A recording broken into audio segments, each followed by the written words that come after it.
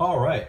What we're looking at here, we're looking at the you know, your, your, your typical old school, you know, lighter plug, you know, which still, you know, there's a use for it. But kind of cool. There's an on-off switch, right? It's kind of kind of nifty. That's why I kept it. Uh, this, of course, is your shore power. Um, this is your phone. Now, I kept that. I just thought that was so nifty.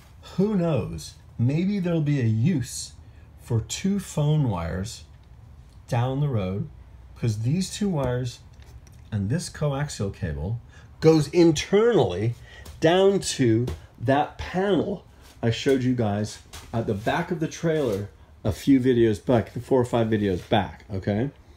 So if you want to get your cable internet or your cable TV on, you've got your two outlets here. Now, I left this here because I was saying to myself, God, you know, if perhaps this workstation